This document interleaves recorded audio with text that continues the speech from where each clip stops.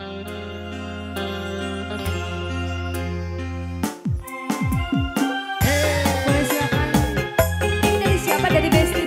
Iya dari seluruh keluarga besar Haja. Ya silakan